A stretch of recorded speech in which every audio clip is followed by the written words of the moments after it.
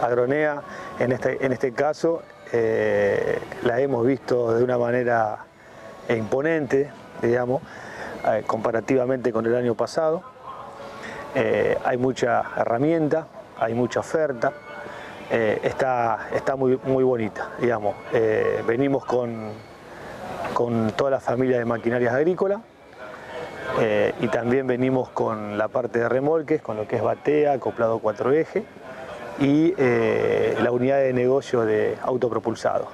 Estamos presentando dentro de, una gama variada de productos, una de las últimas autopropulsadas y una fertilizadora también autopropulsada, ambas con caja automática. Tienen las dos, en este caso, motor Cummins 173 HP, una caja automática Allison con Power Shift que transmite una mejor eh, versatilidad al operario a la hora de hacer sus trabajos. Eh, en este caso es una máquina que tiene una trocha 262, un rodado 12446, eh, con una cubierta 320 que se le puede poner también la cubierta 380. En este caso tenemos un botalón de 36 metros. Eh, nosotros hacemos tipo de alas modulares actualmente, con lo cual nosotros tenemos dos primeros tramos, tres segundos tramos y dos alines. De esa manera nosotros convertimos el ala desde 28, 30, 32, 34, 36, 38 lo hacemos de una forma muy versátil eh, y combinada, entonces permite hacer varias, varias medidas de, botalones.